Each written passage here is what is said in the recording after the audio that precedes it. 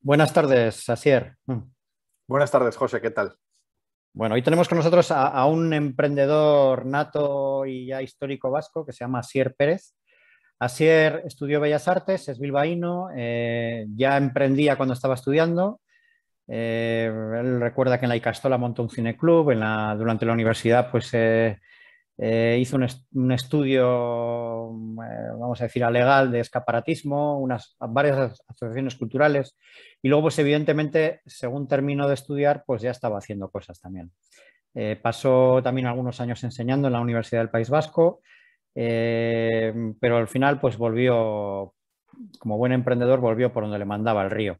Y ha creado varias sociedades, la primera que llevaba su nombre y el apellido con Sony, que hacía proyectos de arte, también montó un bar. La etapa, la empresa más reciente mm, y además la más conocida de las que él ha montado se llama Funky Projects. Es una empresa que llegó a facturar más de un millón de euros, que tuvo a Telefónica como un gran cliente y como todas las empresas que tienen un gran cliente, como se tambalee el gran cliente, pues, eh, pues se quedan no temblando, sino a veces pues cerrando, ¿no? que es lo que ocurrió en este caso. Eh, así era, ha estado los últimos tres años trabajando en Asia para el gobierno de Singapur y recientemente pues eh, ha vuelto a emprender en Euskadi con un proyecto mm, que como siempre imagino por, conociéndote muy bien, mezclará el arte con el impacto en la sociedad, ¿verdad, Asier? Bueno, espero que no sea muy, muy de arte y que sea más de dinero también o algo así. ¿Qué es lo que estás haciendo ahora, Asier? Eh, hemos montado una empresa que se llama Panel Health, eh, que es una startup tecnológica en el ámbito de la salud para ayudar a tanto hospitales o servicios de salud, eh, seguros médicos e industria farmacéutica, innovar desde la experiencia del paciente. Eh, o sea, contaba así un poco así.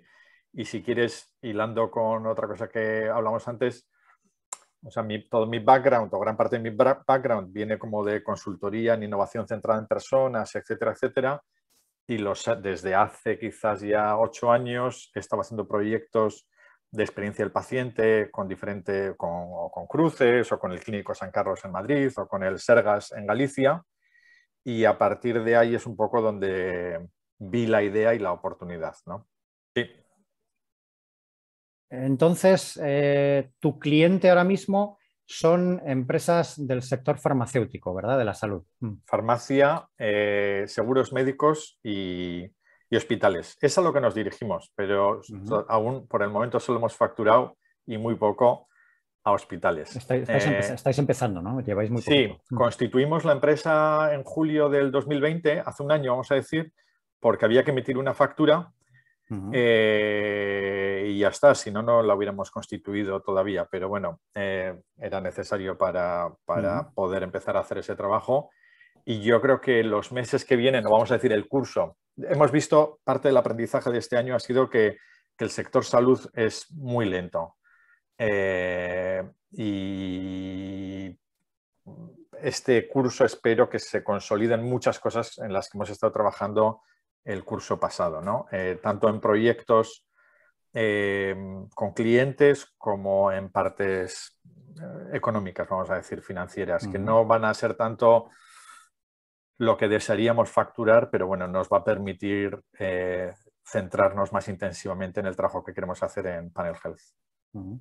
Em, has dicho que es una empresa de, tecnología. ¿Qué es exactamente lo que habéis desarrollado, lo que estáis desarrollando? Estamos desarrollando dos modelos. Por un lado, un, bot inteligente eh, propio, no basado en tecnologías existentes de IBM o de Amazon o Google o la que quieras, eh, que lo necesitamos así por varios, varias implicaciones que hay en la parte de GDPR, ¿no? de, en la protección de datos, eh, en diferentes cosas, y también porque queremos que aprenda eh, modelos e interactúe con los pacientes de la manera en que nosotros queremos que lo haga. Sería más fácil seguramente partir de modelos de Dialogflow o lo que sea, pero vamos a, arriesgarnos a hacerlo por nosotros mismos para ser como super compliant, que es muy importante en toda la parte de salud, eh, cumplir escrupulosamente con muchas partes de datos sensibles, aunque nosotros no entramos ahí, pero siempre son áreas grises, vamos a decir.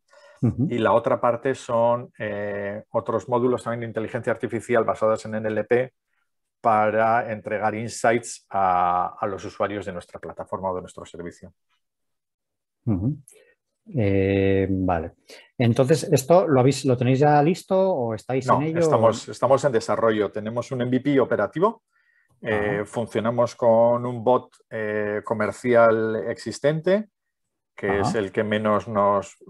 el, más adecuado dentro de lo que existe en el mercado que podemos usar y es bastante compliant en el sentido que decía de GDPR, pero también nos, limita en diferentes cosas y eh, la entrega que hacemos en este momento todavía no es inteligente, vamos a decir, es, construimos resultados agregados de manera automática, pero no, se le, no, se le va, no, hay un, no hay una construcción de insights todavía a partir de ahí, también porque todavía no estamos manejando un volumen de datos para poder estar generando eh, todos estos insights. O sea, este, este, bot, por ejemplo, empezando con el primer producto, lo que hace es hablar con los pacientes. Sí, entrevista a los pacientes dinámicamente eh, sobre lo que nosotros, eh, la línea de trabajo actual es generar métricas sobre la experiencia de paciente en relación a una medicación, a un tratamiento, a una hospitalización o a un seguro médico. Eh, y esas métricas van a permitir a nuestros clientes actuar para mejorar la experiencia paciente, lo cual luego impacta en una eficiencia del proveedor de los servicios y en un mejor bienestar, no estamos hablando de salud, pero un mejor bienestar del paciente, ya sea porque entiende mejor la medicación que tiene que, tomar, eh, se, incrementa la adherencia a esa medicación, eh, va a promover también eh, mejores o hábitos más saludables en las personas o prepararse eh, de una mejor manera para tener una intervención, etcétera, etcétera. Con lo cual redunda en el bienestar de la población al, que ese cliente trabaja y, evidentemente impacta finalmente económicamente, pero no queremos hablar de ese impacto económico porque se hace más abstracto, ¿no? En dónde se va a medir. Por eso si hablamos de una eficiencia, y de un bienestar de los pacientes. Sí, sí, sí. Entonces, eh, esto, eh, ¿este bot opera por WhatsApp o mm, por teléfono? Eh, va basado, o sea, a día de hoy el paciente recibe un SMS y al clicar en el link que le trae SMS le abre su navegador por defecto y es una entrevista con, a veces con campo de texto libre, pero casi siempre ahora es con respuestas cerradas, a veces a elegir. A futuro queremos hacer que sea 100% eh, oral, de tal manera que, que ambas eh, voces, vamos a decir, o ambos interlocutores en la entrevista eh, funcionen lo más natural posible. Si el paciente quisiera seguir haciendo por escrito, podría hacerlo, o por dictado, o si no, directamente por voz. Y lo que el eje que tiene que haber de cambio es que, evidentemente, a día de hoy, entre comillas, vamos a decir que trabajamos con un con un árbol de decisión, pero cuando esto sea inteligente ya no es un árbol de decisión, porque en relación a la respuesta que tú me hayas dado, la siguiente respuesta va a ser diferente a la entrevista que le he hecho a otro paciente. ¿sí? Con lo cual, es ahí donde tiene que estar la inteligencia y construir el recoger las expresiones más naturales de los pacientes. Vale. Ok.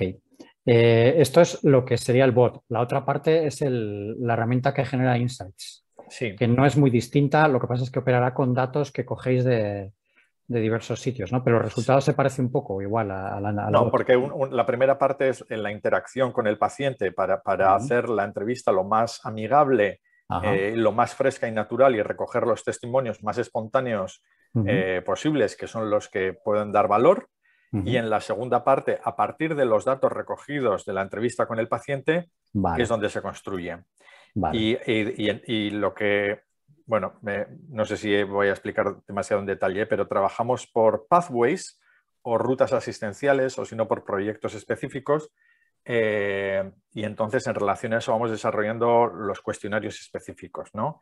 Eh, pero, por ejemplo, si cogemos eh, el pathway de cáncer de pulmón o cáncer de mama, lo que esperamos también a futuro es, si estamos trabajando y tenemos implementado cáncer de pulmón eh, en un hospital de Madrid, en un hospital de Bilbao, en un hospital de Berlín y en un hospital de, me da igual, de Suiza, eh, podemos estar generando más valor desde la idea de cómo qué acciones están implementando en otros hospitales y cuál es el resultado. Con lo cual, a través de ese benchmark, podemos proponer esas acciones a nuestros clientes también, ¿no? Con lo cual se multiagrega, vamos a decir, esas acciones que los hospitales están llevando a cabo en sus em, instalaciones, ¿no? Ok, vale. Eh, y esto ya lo ofrecéis a través de unos paneles, de una serie de, pues ya de, uno con unos interfaces, etcétera, etcétera, ¿no? Sí. Em, muy bien. Yo creo, yo creo que se entiende bastante. Esto, eh, hablas siempre de nosotros. Entiendo que te has juntado con más gente, ¿así mm. Sí, tengo dos socios. Eh, estamos por ahora todos encantados de la vida. Eh, son Ana Vadillo, que es la directora de producto. Su background viene de diseño de productos digitales. Eh, sobre todo en el ámbito de banca, bolsa y cosas así, y quería también pegar el giro hacia salud. Y luego, por otro lado, eh, son estos encuentros eh, alucinantes, ¿no? está Beñat Galdós, que le doblo la edad. Con eso se puede calcular entonces la edad. A Beñat, le hemos entrevistado nosotros. Ah, sí. No recuerdo mal, ¿no? No, lo, no, lo, sé. Y, y, entonces está bien. Eh, él fue alumno mío en unas clases que daba en la Universidad de Deusto en el campus de San Sebastián y por, diferentes vínculos pues nos hemos reencontrado. Y Beñat eh, es el CTO o lleva la parte tecnológica. Muy bien. Y mm, vale, entonces este proyecto ya lo tenéis en marcha. Entiendo que tú eres el, que todo lo mueve, ¿no? El, intenta empujar todo. Y que, y que también estás haciendo especialmente la parte comercial, ¿no? Mm. Sí, eh, eh, empezamos eh, como... Finalmente vamos a parar un poco la labor comercial porque queremos tener case studies más robustos, con lo cual nos vamos a dedicar a ello. Pero claro, generar una alianza para hacer un case study o un acuerdo también es una labor comercial, vamos a decir. Pero, pero mm hemos, o sea, no, esto no quiere decir si alguien ve el vídeo y quiere comprar, que llame, ¿eh? pero, pero eh, no queréis distraeros demasiado, no, no queréis. Es que no, tenemos que, lo que queremos ver, en la estrategia que por el momento hemos decidido es trabajar con los líderes de, europeos de experiencia de paciente y medicina basada en valor.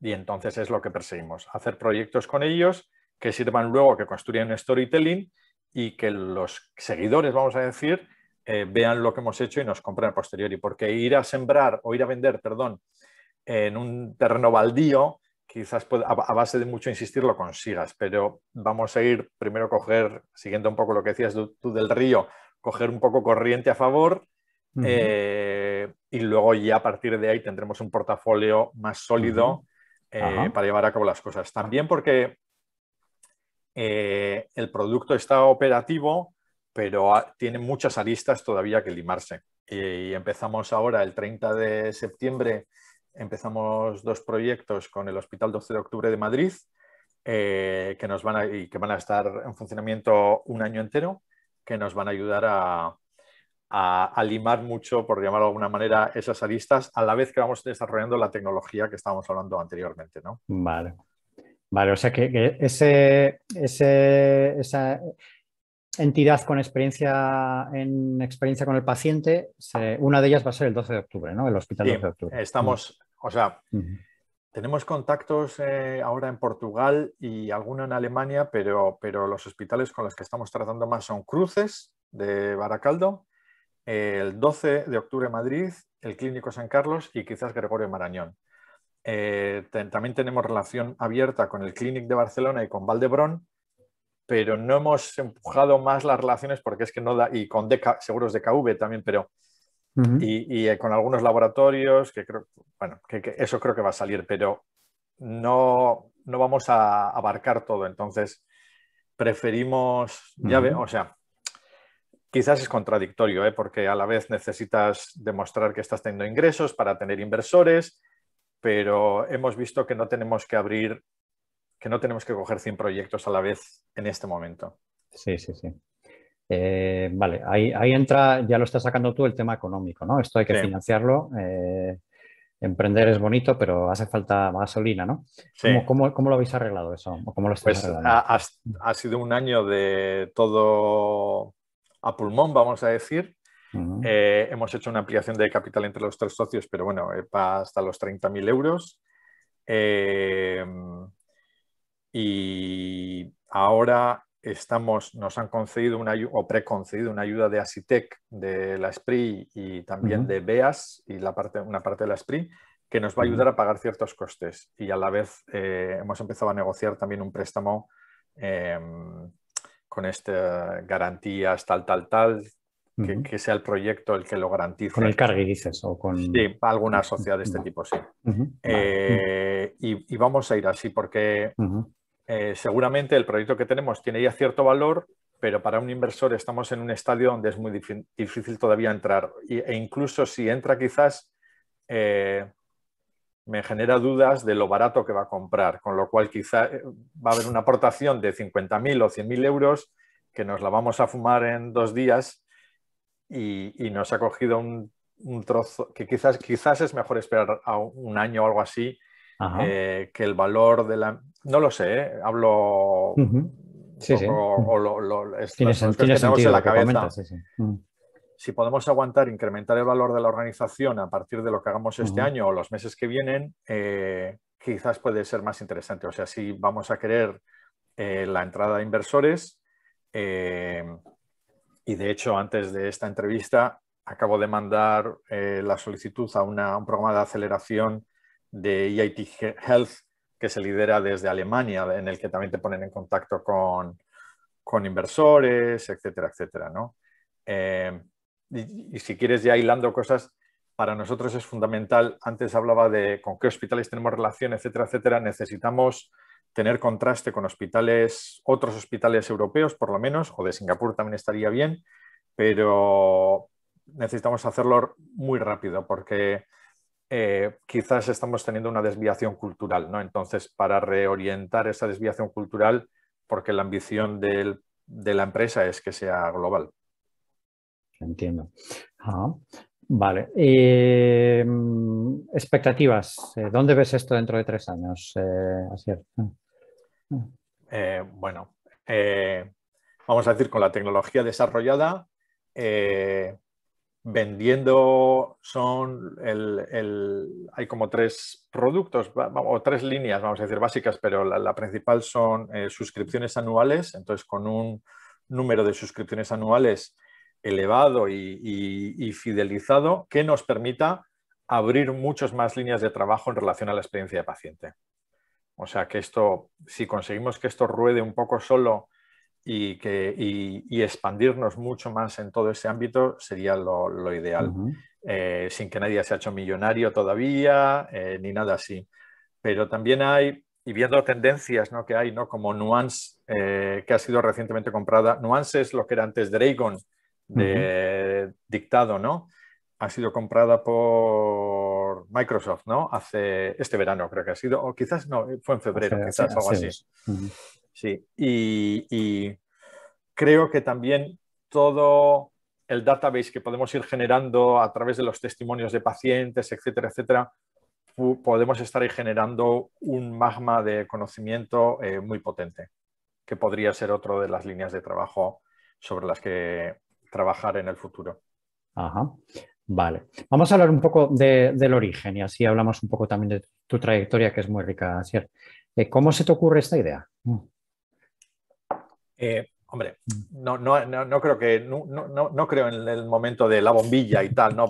pero que es un cúmulo de cosas, ¿no? Pero sí es verdad que estaba en Rotterdam en la conferencia de ICHOM, que es un consorcio global en el ámbito de medicina basada en valor, eh, antes de pandemia, evidentemente, eh, qué, hacías, tú en, ¿qué hacías tú en Ámsterdam en una conferencia de, ese tipo? En Rotterdam, pues intentar vender, evidentemente. o sea, eh, había clientes eh, em, que habían ido a la conferencia, intentar vender e intentar aprender. Eh, había clientes y había clientes potenciales. Y al estar allí vimos que dentro de lo de, en este caso era yo solo, que estaba en el viaje, pero, pero en, este, en, esta tendencia tan fuerte que llevan ahora las organizaciones sanitarias de medicina basada en valor, eh, veíamos que se trabajaba mucho en una parte operativa de cómo la performatividad, vamos a decir, de los sanitarios en, eh, hacia, en la atención al paciente, pero eh, quedaba muy coja la parte de experiencia paciente, que es el ámbito donde ya estábamos trabajando de antes de manera artesana, vamos a decir, con consultoría, ¿no? Y la idea es cómo podemos sistematizar usando la tecnología para generar métricas sistemáticas y facilitar a los hospitales esta labor. Eh, y yo creo que entonces en Rotterdam en la conferencia se empiezan a encajar las piezas y se empieza a ver, sabes que era, una conferencia gigante, ¿eh? con muchísimos delegados, no me acuerdo. Eh, y en los expositores sí había muchas empresas tecnológicas, entre otras, por ejemplo, estaba Philips también, que Philips es eminentemente a día de una empresa de salud, eh, o Health and Wellbeing, que dicen ellos, pero había otras más startups, vamos a decir, que estaban desarrollando servicios para los hospitales, pero en esta parte de operativa, no en la parte de experiencia. y es mi ámbito de trabajo y siempre ha sido como eh, trabajando en esa parte de innovación centrada en personas, ¿no? Es como un poco la, parte eh, resbaladiza de... Tú fuiste, tú fuiste ahí a venderles consultoría y te diste cuenta de que había una oportunidad de negocio en vender algo más, ¿no? Vender un producto. Sí, más o menos. O sea, sí, hombre, porque también siempre tienes la idea, cuando haces consultoría, siempre tienes la idea, qué bien estaría tener producto, ¿no? Mm. o sea, que seguramente lo que pasa cuando tienes producto es que bien estará tener consultoría, siempre, ¿no? Pero o ayer tuvimos una Pero qué difícil es vender producto, joder. Mm. Sí, sí, sí. O ayer tuvimos una mm. cena de founders de startups de Bilbao y una persona se quejaba del B2B, ¿no? ¿Qué, tortura el B2B? Entonces, bueno, cada, cada, ámbito tiene su, su dificultad y, y, es este, en el que, en el que para mí, a nivel personal, ahora, siempre es importante tener una curva de aprendizaje estimulante. Y entonces ya había un momento como de que esa curva se estaba allanando, vamos a decir, eh, y ahora eh, con, dentro de la dinámica de startup, dentro de salud, eh, ámbito tecnológico, se me hace muy, muy, muy, muy, muy estimulante. Y espero que también me resulte beneficioso económicamente. No, no, no solo una experiencia enriquecedora. Muy bien. Eh, vale, eh, económicamente, evidentemente, toda empresa tiene que tener, al final, eh, al principio puede, puede haber otro tipo de, sistema, ¿no? Con business angels, con financiación de, pública de fondos, etcétera, etcétera. Pero al final una empresa si no gana dinero pues acaba muriendo, ¿no? Mm. eso está claro. Eh, tú has tenido ya una trayectoria muy larga, has hecho, has hecho ya varias empresas. Eh, como se suele decir, tienes el culo muy pelado ya haciendo como emprendedor. Eh, ¿Qué cosas has aprendido, Asier? Mm. pues es un poco difícil. A ver, resúmelas, porque... podrías escribir un libro, seguro, pero, pero algunas de las más significativas que te acuerdas. Bueno, de que a veces las decisiones hay que tomarlas, eh, o sea, hay que, hacer, hay que hacer cortes de raíz en el momento que se detectan ciertas cosas. Eh, ayer hablaba con, dos ex colaboradores míos que, que, constituyeron sociedad y no voy a decir nombres y así, eh, pero a cuenta de... Si ellos, quieren, si ellos quieren que nos envíen un email y les entrevistamos también. También, pero les, eh, la pandemia eh, los ha defenestrado casi, de ser un equipo de, o sea, son emprendedores de 30 años, una gente increíble, con una energía increíble, un equipo de siete personas y la pandemia casi se los ha llevado por delante. Y entonces parte de lo que hablamos es de cómo no has cortado gastos fijos, que al final son trabajadores, en el primer minuto. Esto es lo de eh, contrata despacio, pero despide rápido, ¿no? Mm. sí, incluso, mm. tirando muy rápido, pero claro, es muy doloroso porque el esfuerzo de, generar equipo eh, es muy, muy, muy, muy, muy, muy, muy, muy trabajoso. Eh, y entonces, eh, la, parte sentimental siempre va a ganar a, la otra, ¿no? Y, para cuando te has dado cuenta, te has metido en un lío del carajo, ¿no? Que es en el que están estos chavales, que parece que, lo van a solventar, pero que todo lo que están ganando ahora es para rellenar el agujero, ¿no? Sí, sí, sí. Vale, después, antes me contabas que en Funky, por ejemplo, dependíais mucho de un cliente, ¿no? Eso, eso supongo que es otra cosa que, crees que no es buena igual, ¿no? Hombre, mm. evidentemente no es buena, pero si el cliente me pide eh, que le haga más trabajo, yo se lo hago. Eh, no sé hay cómo, cómo, se puede hacer de otra manera. Ya. Eh, no hay, no hay, no sé, o sea, evidentemente nosotros intentábamos ampliar mercado, no teníamos un acuerdo de, de exclusividad con ese cliente, entonces íbamos a la competencia directamente diciéndoles, perdón, respetábamos evidentemente la confidencialidad de los proyectos, pero decíamos, estamos trabajando con este cliente intensivamente en todo esto, también podemos trabajar con vosotros sin que las personas, en caso de que el proyecto sea del mismo ámbito, eh, se rocen, ¿no? Y, pero no, no, debimos de tener mucho éxito en, esa, en toda esa siembra eh, de trabajo. Bueno, luego perdón, eh, la parte comercial siempre es